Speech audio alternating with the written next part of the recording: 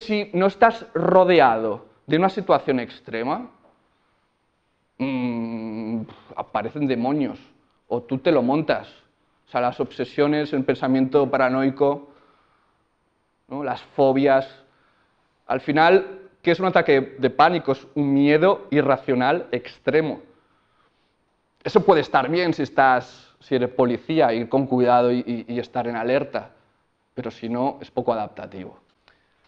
Aquí vemos arriba cómo es percibido el riesgo, en el caso, por ejemplo, de los ataques terroristas, algo que nos pilla muy de cerca ahora, hay la percepción de que es muy probable que estemos involucrados en un ataque terrorista, pero es irracional, desde el punto de vista estadístico es muy improbable que nos pase algo. En un ataque de pánico ocurre que uno tiene la, uno tiene la percepción de que algo horrible va a pasar.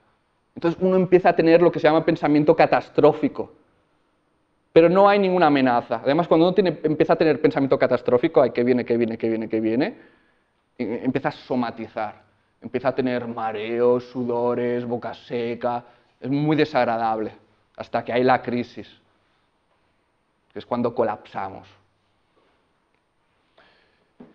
Pensar que los ataques de pánico es uno de los trastornos mejor estudiados en psicología.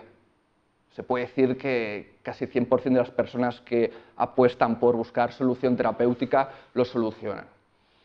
Primero, reestructuración, cognitiva. Segundo, trabajar el cuerpo. Vamos a analizar qué pasa en el cuerpo. Tienes que aprender a desvincular todos esos síntomas con lo que te pasa. Entonces hacen trabajos del tipo, bueno, vamos a, respira fuerte, empieza a dar vueltas y poco a poco se educa a la persona para que entienda que, esas emociones o sensaciones corporales se deben a cómo está respirando, etc.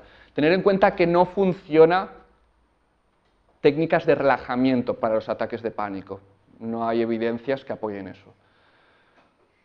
Tercera solución o pata de la solución, lo que se llama exposición en vivo, que es enfrentarse. Plutón, y no hay atajos que valgan, al final el trabajo es enfrentarse a ese infierno. Hay dos maneras, hacerlo gradualmente, si tengo fobia a conducir, pues oye, pues empiezo con la PlayStation un juego de coches, o luego me voy a un circuito cerrado donde tengo a alguien al lado que me tal, y finalmente circulo, ¿no? lo haces más gradualmente. Y luego estaría terapia de shock.